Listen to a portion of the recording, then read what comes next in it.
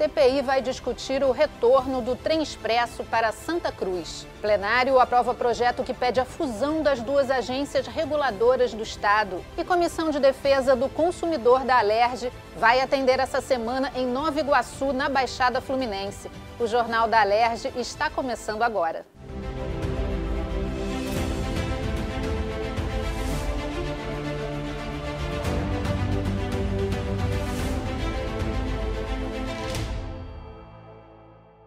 Boa noite. Os deputados aprovaram um projeto de lei que pede ao governo a fusão das duas agências reguladoras de serviços públicos do Estado, a AGETRANSP e a AGENERSA. A proposta também garante participação popular no conselho da nova agência Veja as votações de hoje com a repórter Priscila Leão. Na sessão plenária desta quarta-feira, os parlamentares votaram o projeto do deputado doutor Deodalto, que inclui a dosagem de vitamina D nos exames de rotina das unidades de saúde pública. O texto recebeu quatro emendas e retorna às comissões. Na primeira sessão extraordinária, foi discutido o projeto que garante às pessoas com deficiência visual o direito de obterem documentos emitidos em braille, carteira de identidade identidade, carteira funcional de servidor e CPF devem seguir a regra. A proposta da deputada Lana Passos foi aprovada e segue para a análise do governador. É uma pauta que eu estou amando trabalhar eu, hoje eles me chamam até de madrinha e eu me sinto muito feliz e reafirmando mais uma vez o meu compromisso com as pessoas com deficiência, que pode ter certeza que aqui no parlamento eles serão respeitados, eles serão honrados e vamos estar cada vez mais tentando melhorar e aperfeiçoar a vida para eles de alguma maneira muito positiva. Os deputados Luiz Paulo, Carlos Mink, Luiz Martins e Valdec Carneiro querem a fusão das duas agências reguladoras do Estado, a Agenersa e a Agetransp. Com a união, seria criada a Agência Reguladora de Serviços Públicos do Estado do Rio, a ARSERG. A proposta foi aprovada e segue para a análise do governador. A questão conceitual importante é a forma de escolha dos conselheiros. Nós queríamos uma forma mais democrática, mais transparente, mais criteriosa de escolha, que são você ter uma comissão especial de gente conhecedora dos critérios reguladores. Os candidatos apresentavam os seus currículos, os seus títulos, né? e seriam selecionados por esta comissão os três melhores currículos os que tivessem mais títulos voltado para o tema regulação. Esses três nomes viriam para o parlamento e o parlamento sabatinaria cada um deles em plenário os 70 deputados e entre os três enviados por critérios técnicos seria escolhido um e esse um seria conselheiro da agência.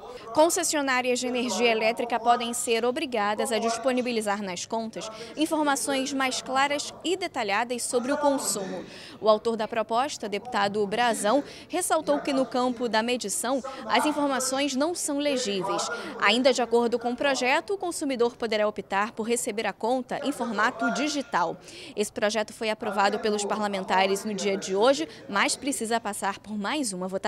Fornecedores de produtos que fiquem expostos lacrados devem disponibilizar uma amostra para que o consumidor possa examinar antes da compra. Entre os produtos previstos na proposta da deputada Marta Rocha estão eletrodomésticos, eletrônicos, brinquedos, jogos e artigos de esportes. O texto vai para a análise do governador. Uma das grandes demandas surgidas é a questão da possibilidade de avaliar o produto. Então, esse projeto é aquele que permite né, que esteja sem lacre a medida de amostra para que o consumidor possa testar o produto, verificar se é de seu agrado, seu agrado e em seguida adquirir esse produto. E mulheres que sofreram violência doméstica podem ter prioridade nos processos seletivos do Sistema Nacional de Empregos, o CINE. Na sequência da lista de prioridades estariam as mulheres que têm o emprego, mas que comprovadamente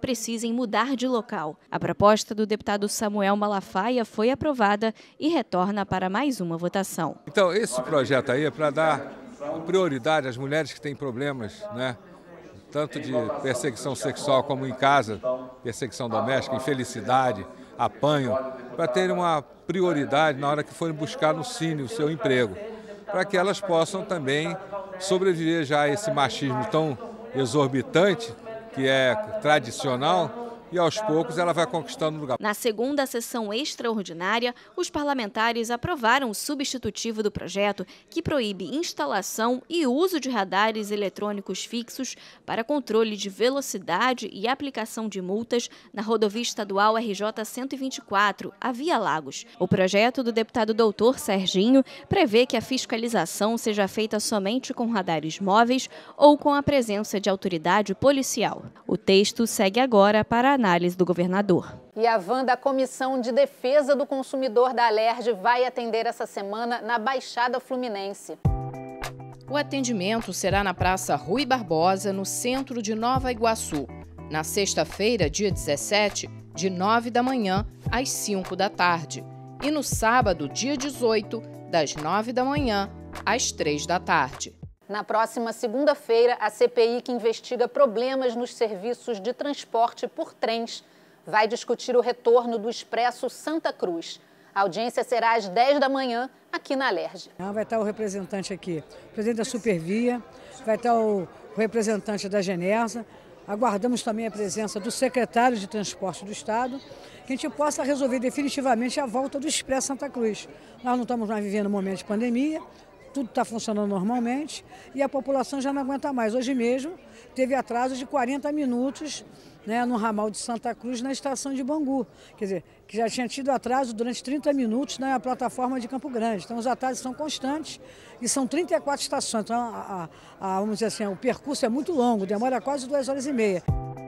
Já a Comissão de Saúde se reúne às duas da tarde para discutir os gastos da mudança de toda a estrutura da Secretaria Estadual de Saúde para um novo prédio. Vários servidores da área da saúde nos procuraram, né? A gente tem ainda em questionamento que não foi amplamente implantada a questão do PCCS da saúde e nós fomos surpreendidos com uma decisão da Secretaria de Saúde, do Governo do Estado, seja lá de quem for, de transferir toda a Secretaria de Saúde, que tradicionalmente, pelo menos há 20 anos, se encontra na Rua do México, para um outro prédio no centro da cidade.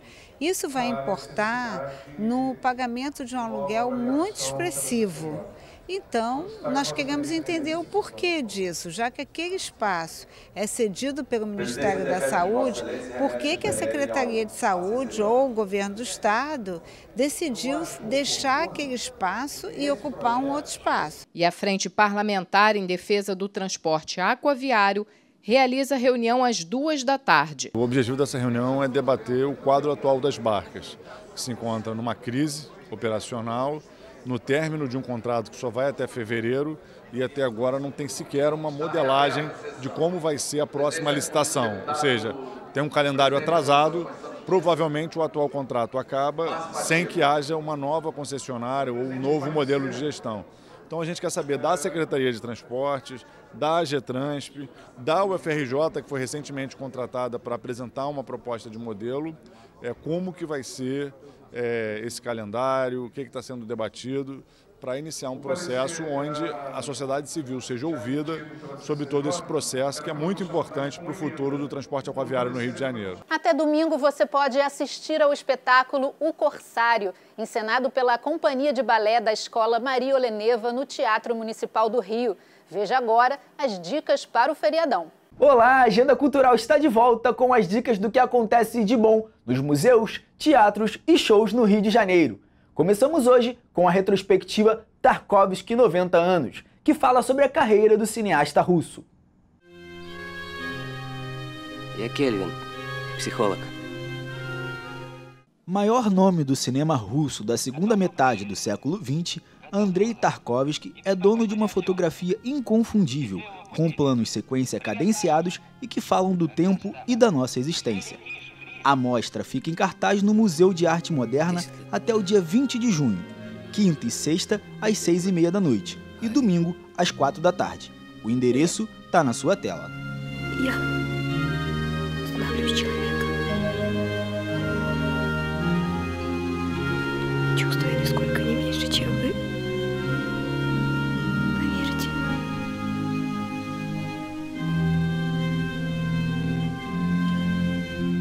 A segunda dica da nossa agenda é o show inédito Saudação às Divas, um tributo a Whitney Houston e Celine Dion.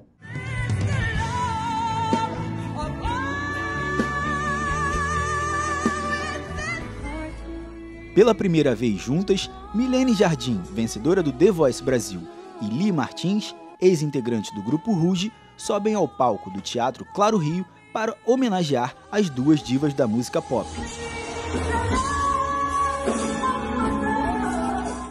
Com direção e criação de Rafael Melo, a apresentação acontece na próxima quinta-feira, às 8 horas da noite. Seguimos agora com a peça Ninguém Sabe Meu Nome, no Sesc Copacabana. Você acha que a gente só deve falar sobre isso? Quando ele vier a sofrer algum tipo de discriminação?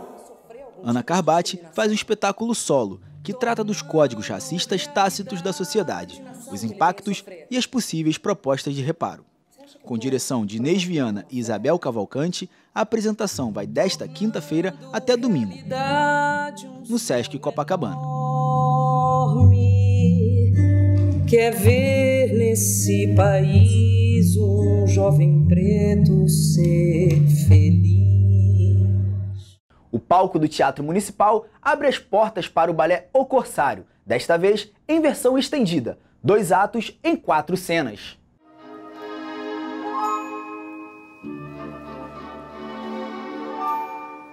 A obra narra uma história de amor em um universo de piratas e odaliscas. O balé O Corsário tem direção de Hélio Bejani e Ana Paula Lessa. Anota aí na sua agenda: Teatro Municipal no centro do Rio, de 16 a 19 de junho, com ingressos a preços populares.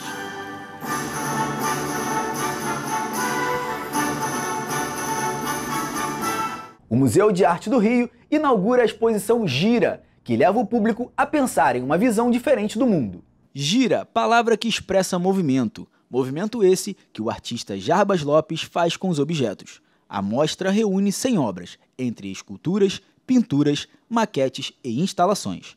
A exposição abre para o público no dia 18 de junho, com entrada gratuita.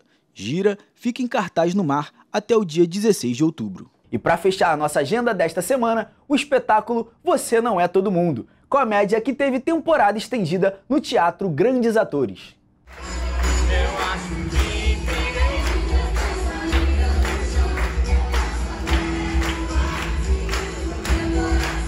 Ricardo Vilardo busca uma resposta para a pergunta mais difícil: quem sou eu?